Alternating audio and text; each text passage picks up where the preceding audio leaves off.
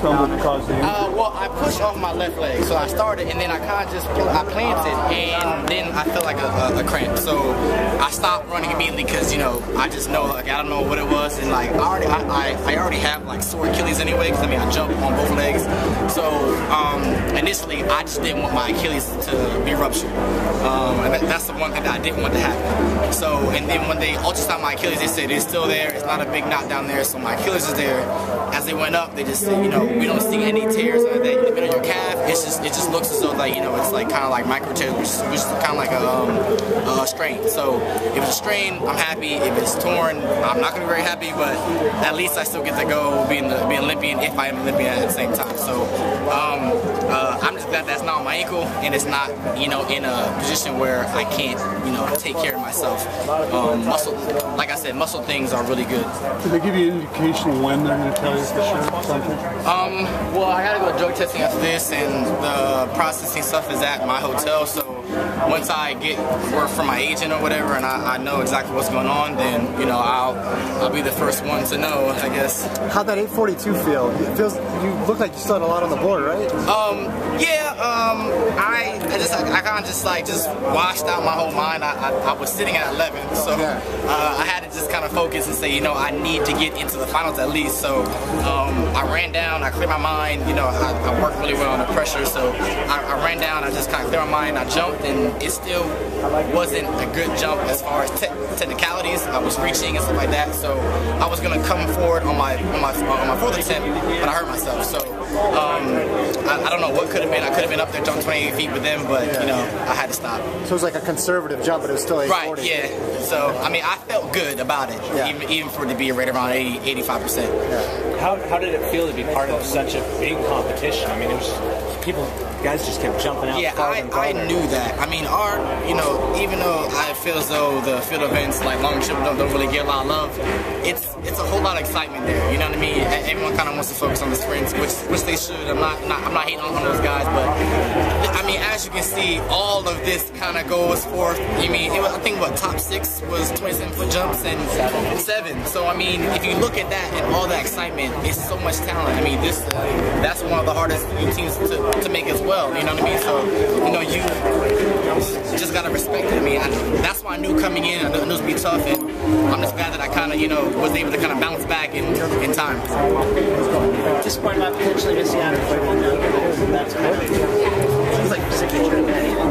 Um, well, I, the the doctor actually recommended that I shouldn't have jumped this year anyway, so I wasn't even entered. Mainly because of my ankle sprain on my left leg, so and I gotta kind of, I guess, rework my body because you know um, I'm moving so fast now in triple jump that I can't really keep up with myself. So I'm just gonna keep getting injury prone. So I'm gonna go back to the lab with that, figure it out. If I have to drop it as an event in, in totality, then I guess you'll see me in the 200. So. Did you know Will didn't have the standard like when he passed you? Um, I wasn't focused on standards or nothing like that. I was really just focused on jumping and winning. Um, I was sitting in first, and then I knew Loss was gonna come back. I knew Henderson is a jumper and stuff like that, but I wanted to really just make my statement and not let people like kind of doubt me and kind of think that I can't come back from a really crucial injury. I mean, I feel like no one kind of respected me kind of coming in because I mean they already saw how how bad my injury was and kind of no one kind of counted me in. But now that I'm, you know, quote unquote Olympian, hopefully, um, I, I, guess maybe I'll get a little more respect. Yeah, but did you realize your fourth place would get you in? Uh, no, I, I mean, I, I, didn't know that until I was back there. I didn't know that, that uh, he didn't have the standard. I didn't start adding that up. Yeah, so, so you kind of were you bummed out? Were you bummed out? Like, oh my god, I just missed. Yeah, it. I was. I, I mean, I, I, wanted to win. Period. It right. didn't matter if I got third. I mean, third, I guess technically is just as good as first, but first place is always good. So. I mean, and I don't get a medal too, so I guess technically. So who told you? Were you down like on verge of tears? Did someone tell you you're in? No, I was actually more concerned about my leg than anything. But um, once I kind of went on my Twitter and I saw everyone was like, "Will doesn't go because it doesn't have a standard," blah blah. Um, I started kind of like thinking back all the long jump competitions that, that he did. I was trying to figure out if he does have a standard, and I, it started to make sense that he didn't because uh, yesterday he only jumped 8, 814 and he was entered with uh, 788, and you know he didn't really jump you know far and like anywhere else that I I know. You can't chase, so I guess it, it logically makes sense. But like I said, I want to hear that official you're on the team type of you know thing until I can say that I'm Olympian. Turning back to the competition uh, today, it was pretty windy out there at times. Lots of Right. How did that affect your steps and your approach? Um, I had to I had to move back maybe seven feet today, so thank you. I had to move back right around seven feet today because uh, I, I think my foul on my second jump was right around 28 feet. It was a 4.0 wind, but you know I didn't expect that, so you know I kind of I just had to go back to drawing board. I mean, you know I've, I've dealt with wind at practice, I've dealt with wind like on my other competitions, so it wasn't nothing you know unfamiliar to me. But again, it's just hard to kind of like battle that, especially when I've been out for so long.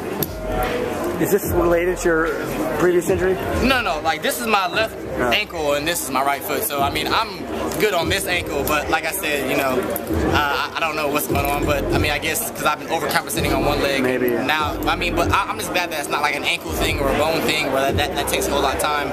Muscles, like I said, can can heal really fast if I just take care of myself in, in, in the proper way. So has USATF people told you you're on the team yet, or just? Not yet. I haven't talked to anybody at USATF, but I mean, I'm gonna go do gonna go do Go make sure, yeah. and hopefully I hear the word when I leave media, and they say, "Oh, you know, you're on the team because we didn't make it." So I mean, I mean, we'll hopefully keep our fingers crossed. All I don't know right. Thank you. Thank you. All right. Mm-hmm. Look.